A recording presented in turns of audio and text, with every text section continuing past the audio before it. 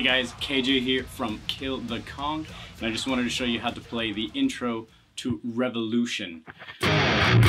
It's a it's a it's a pretty hard intro, I would say. Um, it's just straight eighth notes, and uh, you have a hang on the and of four, which goes over to the and of one. Let's not get too complicated about it, but uh, if I try to play it slow, let's see if I can do it.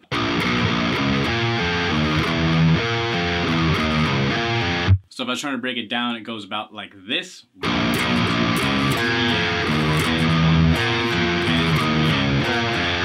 I do like a little pinch where uh, I'm doing these notes and then actually bring my pinky from there to play the tritone, which is always metal. Uh, I'm just going to blow through the next part of the riff and you can dissect it a bit more, but it goes about something like this if I try to slow it down.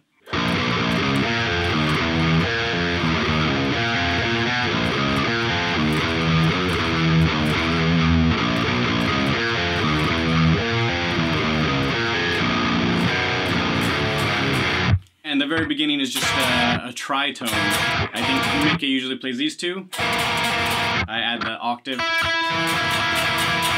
Um, and uh, yeah, something, something about like that. And then you play the riff after that.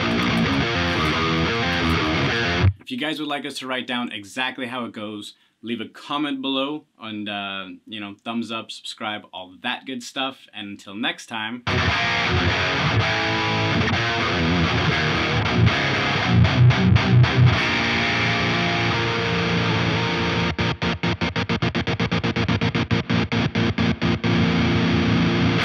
KJ, Kill the Kong, signing off.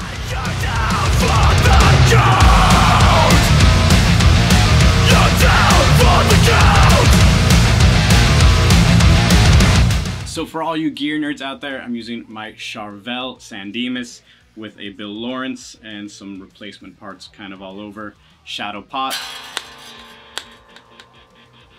Super cool thing. Uh, I don't reuse it in this song at all, but uh, Sounds great, looks great. D'Addario strings, Hawk picks, and uh, I'm going through an SSL uh, 2 Plus interface through the wonderful Neural DSP archetype uh, Nolly.